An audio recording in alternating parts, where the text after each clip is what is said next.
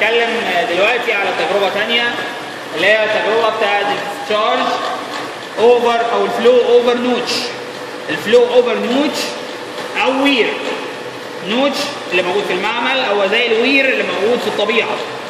دلوقتي عايزين نعرف هو ال weir أو ال notch أجهزة تستخدم لقياس التصرفات عن طريق إن أنا عندي معادلة بتاعتها بحسب ال H اللي هو ارتفاع المية فوق ال notch بعوض في المعادلة عشان أعرف احسب ال Q أو التصرف. الهدف من التجربة ديت زي تجارب إحنا خدناها بتاعت ال orifice زي التجربة بتاعت الفنتوري الهدف منها هو إن أنا أجيب ال coefficient of discharge معامل التصرف. معامل التصرف دوت أجيبه إزاي؟ عن طريق إن أنا بقسم ال Q actual التصرف الحقيقي مقسوم على ال Q theoretical اللي هو التصرف النظري اللي جاي من المعادلات. الهدف إن أنا أجيب ال Cd coefficient discharge اللي أنا هستخدمه بعد كده في إن أنا بعد ما أحسب ال Q theoretical لو عايز أجيب ال Q actual هضرب ال Q theoretical في السي دي يبقى أنا جبت ال Q actual يبقى المفروض إن كل weir موجود في الطبيعة وكل notch موجودة في أي معمل ليها coefficient discharge بتاعها عشان أقدر بعد ما أحسب ال Q theoretical بالمعادلات أضربها في السي دي وبالتالي أعرف أحسب ال actual discharge الموجود. لازم نبقى واخدين بالنا إن في أنواع كتيرة من ال notch حسب الشكل بتاعها. النوعين اللي إحنا ملتزمين بتاع في الكورس بتاعنا. النوع الأولاني اسمه rectangular notch الشكل بتاعه rectangular مستطيل زي ما هنشوف دلوقتي. النوع الثاني اسمه V notch الشكل بتاعه واخد حرف سبعة. حرف V يعني. وده هنشوفه برضو دلوقتي إن شاء الله. كل واحد فيهم له معادلة ب terms مختلفة شوية. ال terms لو حبينا نبص كده سريعا على ال Q. إزاي نعرف نحسبها؟ ال Q actual في هذه التجربة بتحدد مباشرة باستخدام ال flow meter باستخدام الجهاز اللي بيقيس التصرف اسمه ال flow meter والوحدات بتاعتها اللي إحنا هنحولها طبعا هيبقى متر مكعب في الثانية. ال Q الثانية اللي إحنا عايزين نجيبها لل Q theoretical هنعوض في هذه المعادلة اللي إحنا شايفينها ونحسب قيمة ال Q theoretical المعادلة دي بتقول إن Q theoretical بتساوي 2 على 3 B root 2 g مضروبة في H أس واحد ونص. B هو عبارة عن العرض بتاع ال notch. لو إحنا جينا بصينا هنا كده عملنا zoom على المية هنلاقي هنا ده ال notch. شايفين المطاط الأسود دوت؟ بيحدد تقريبا ال notch بتاعتنا. ابعادها عاملة إزاي؟ دي العرض بتاعت ال notch دي العرض بتاعت الفتحة بتاعتنا. ده ال B لو إحنا بصينا هنا هنلاقي هو دوت ال crest ده هو ال crest بتاعت ال notch. الشكل اللي إحنا شايفينه دوت هو ده ال rectangular notch اللي بتكلم عليه. هو ده ال rectangular notch ده العرض بتاعه وده ارتفاع المية اللي فوق ال notch. ده ال crest بتاعت ال notch القاع بتاعت ال notch وده ارتفاع المية اللي فوق ال notch اللي هو ال H. فالمطلوب من عندنا في هذه المعادلة في التجربة إن إحنا نحسب ال H دي قد إيه وناخدها نعوض بيها في هذه المعادلة. نحط ال H دي بالمتر طبعا بعد ما نحولها بالمتر وال B اللي هو العرض بتاعة ال notch الرقم ثابت مش هيتغير 4 سم ال 4 سم ده نقسمه على 100 عشان نحوله بالمتر يطلع 0.04 متر تعوض في المعادلة دي يبقى أنت جبت Q theoretical ببساطة شديدة هنقسم ال Q actual متر مكعب في الثانية. على Q theoretical متر مكعب في الثانية. يبقى إحنا جبنا coefficient of discharge معامل التصرف لل notch. تعال نشوف إزاي بنسجل كل واحدة فيهم. هنبتدي أول حاجة نجيب ال Q actual ال Q actual بتاعتنا هنجيبها عن طريق ال flow meter الجهاز دوت اسمه ال flow meter الجهاز اللي هو بيحسب التصرفات. إزاي هنحسب ال Q actual لو إحنا عملنا zoom على ال flow meter هنلاقي عبارة عن أنبوبة. الأنبوبة دي مليانة مية. والأنبوبة دي فيها مخروط فيها مخروط معدني اللي إحنا شايفينه دوت.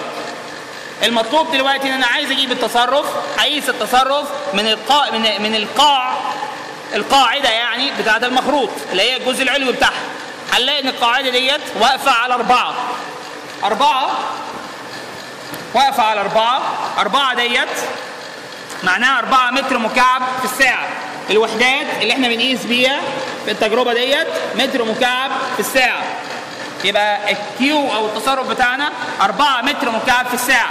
طبعا هنحتاج إن إحنا نحول الكلام ده إلى متر مكعب في الثانية.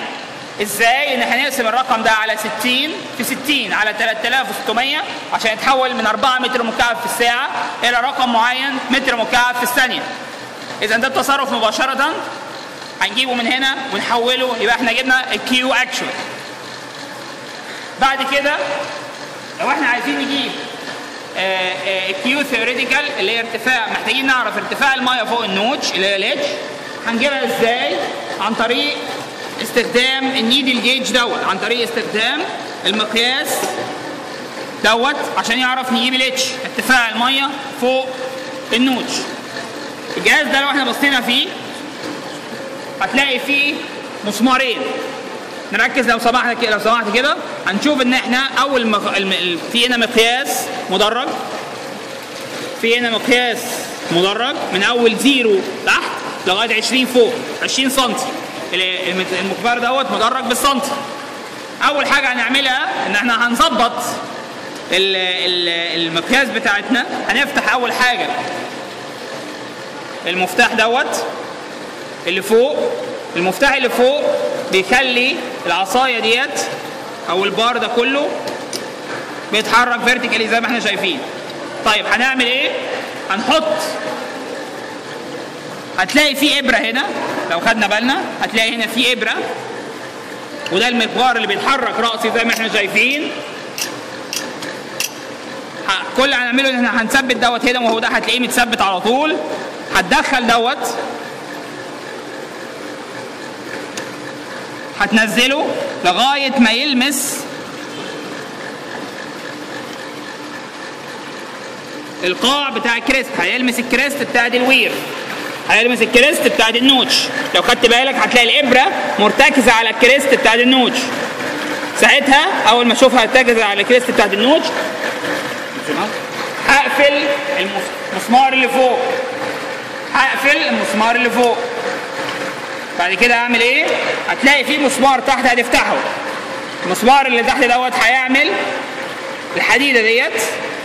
هتشتغل على الطرف العلوي بتاعها. هنثبتها على قراية وليكن أربعة.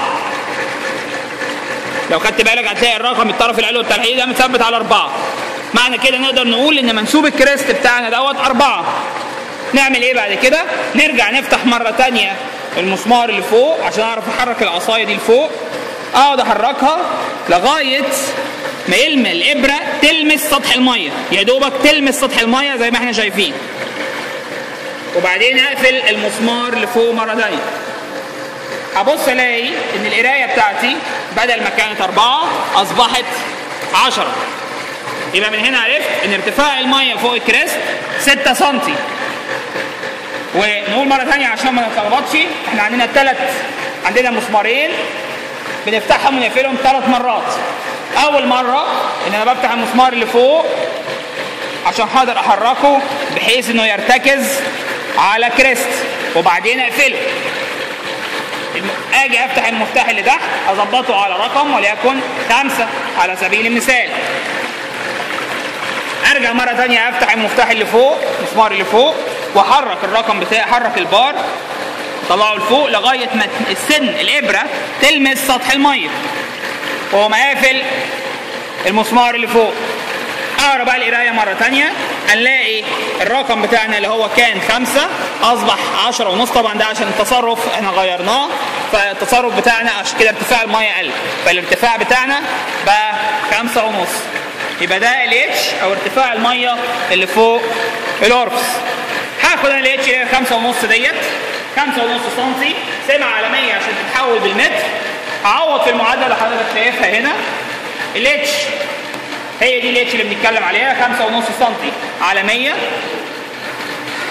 ال B اللي هي العرض بتاع ال notch اللي إحنا قلنا 4 سم 4 سم ديت يعني 0.04 متر جي عجلة الجاذبية 9.81 هتعوض في المعادلة يطلع لك Q theoretical متر مكعب في الثانية. هنقسم ال Q actual اللي إحنا طلعناه من ال flow meter على ال Q theoretical يطلع لنا السي دي أو ال coefficient of discharge ال coefficient discharge بتاع ال notch مقارب لل coefficient discharge بتاع ال orifice تقريبا بيتراوح ما بين 0.6 إلى 0.65 فمهم زي ما اتفقنا إن إحنا نعرف إزاي نعمل comment على ال results بتاعتنا. ملحوظة سريعة لو أنا حبيت أعمل التجربة مرة ثانية مطلوب زي ما اتفقنا ان ما أنت تعمل التجربة على الأقل ثلاث مرات عشان تجيب ثلاث قرايات عشان تستخدمها في رسم ال curve ات المطلوبة. ال curve ات اللي مطلوبة منك اللي موجودة في ال lab book اللي معاك. هنغير الت- التصرف إزاي؟ الحاجة اللي هنعرف نغيرها. عشان نعمل التجربة مرة تانية إن هنغير التصرف. هنغير التصرف من خلال هذا المحبس. لو أنا فتحت المحبس شوية هتلاقي طبعا ارتفاع المية اللي فوق ال notch زاد. ال H هتجيبها مرة ثانية لو أنت بصيت على ال flow meter بدل ما كان أربعة أصبح تقريبا خمسة واتنين من عشرة. ما ننساش إن الشرطة الواحدة الصغيرة هنا باتنين من عشرة لتر. يبقى الرقم اللي متسجل هنا دوت خمسة واتنين من عشرة لتر. خمسة واتنين من عشرة آسف خمسة واتنين من عشرة متر مكعب في الساعة. خمسة واتنين من عشرة متر مكعب في الساعة تقسمه على 3600 عشان يبقى متر مكعب في الثانية. هتعيد التجربة دي ثلاث مرات عشان كل مرة تجيب H وتجيب Q مختلفة وترسم الكيرفات والعلاقات المطلوب انك انت ترسمها. التجربة ديت ممكن انها تيجي في حالة ال rectangular notch زي ما إحنا شفنا أو ممكن تيجي في حالة ال V notch. في حالة ال V notch زي ما متوضح عندك في ال lab book في الكتاب بتاعك وفي ال lectures بتاعتك المعادلة بتتغير ال H بدل ما هي أس واحد ونص تبقى H أس اتنين ونص مفيش عندي B لأن ده حرف V زي ما إحنا شايفين عامل زي حرف سبعة بالعربي اللي هيخش معايا هي الثيتا اللي هي الزاوية الداخلية اللي في ال V notch الزاوية دي الثيتا دايما بناخدها إنها بتساوي الثيتا دايما بناخدها إنها بتساوي 90 درجة. يبقى اذا الثيتا على 2 يطلعوا 45 درجة يبقى tan 45 يبقى اذا بالتالي اعوض في هذه المعادلة أجيب ال Q theoretical ده في حالة ال V notch هقسم ال Q actual على ال Q theoretical ال Q actual بنفس الطريقة طبعا. اقسمهم على بعض. أجيب السي دي اللي هو coefficient of discharge واضح قوي إن إحنا لازم ناخد بالنا إيه القرايات اللي أنا قستها إيه ال measurements يعني؟ ونفرقها ما بينها وبين الحسابات. ال measurements بتاعتنا زي ما هو واضح في هذه. المسألة التجربة. ال Q من ال flow meter مباشرة ده أول حاجة.